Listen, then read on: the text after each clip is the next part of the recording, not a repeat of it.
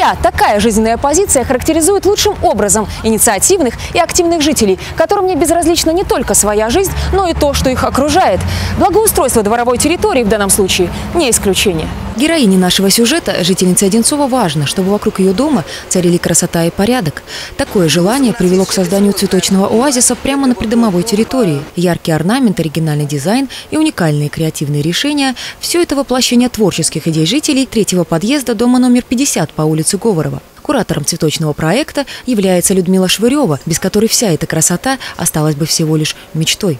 Идея родилась и витала в воздухе давно, но смогла реализоваться только в прошлом году. Начало было э, нашего, нашей работы совместной с жильцами нашего подъезда. Это лето прошлого года. Это все смогло вылиться вот в такой результат, который вы сейчас видите перед собой.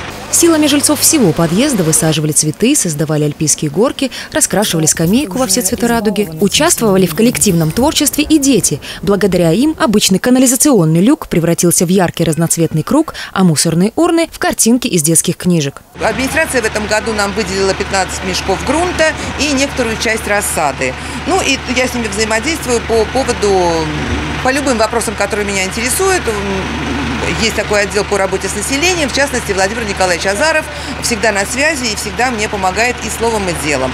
На этом Людмила Викторовна останавливаться не планирует. У нее еще много идей. Следующем году мы хотим э, клумбу с однолетниками заменить э, петуньи на другие цветы, не менее красивые. Плюс у нас есть еще бесхозная клумба. Это вот э, клумба рядом с нашим подъездом. Мы хотим и ее немножечко тоже облагородить, чем, чем мы сейчас и занимаемся. Притягательная сила цветов настигла и жителей соседних домов. Они приходят сюда полюбоваться и даже делают селфи на фоне цветочной композиции. Сова с колокольчиком чутко бдит за состоянием растений. Она стала своеобразным талисманом местных жителей.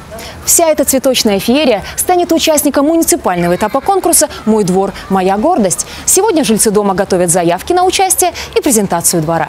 Конкурс пройдет в два этапа – муниципальный и региональный этап. По итогам муниципального конкурса будут отобраны лучшие дворы Одинцова Одинцовского городского округа и отправлено на областной конкурс. В заявке необходимо указать адрес, контактные данные, фамилия, имя, отчество заявителя, приложить 5 фотографий благоустройства двора и э, краткое описание истории благоустройства. Ну а если вы также любите свой двор, благоустроили его своими руками и вам есть чем удивить жюри, участвуйте в конкурсе.